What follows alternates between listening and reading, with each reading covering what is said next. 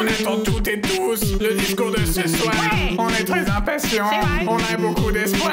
On aimerait bien sortir, arrêter le confinement, pouvoir acheter des pâtes, ouais. sans fuir Didier l'Allemand.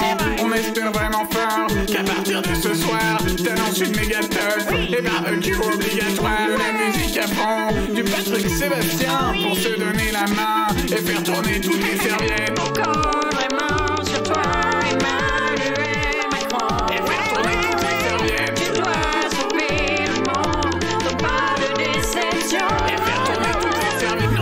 Déçois pas, on est vraiment fébrile. On veut du Disneyland et des salons automobiles, ce serait déloyal. Donc profitez bassement pour prendre des décisions débiles et rogner sur les APL. On veut faire la fête, les riches veulent qu'on travaille.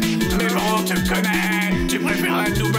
Ce soir, tu vas nous dire qu'on va faire une grosse teuf avec des tonnes de bière, au moins jusqu'en septembre.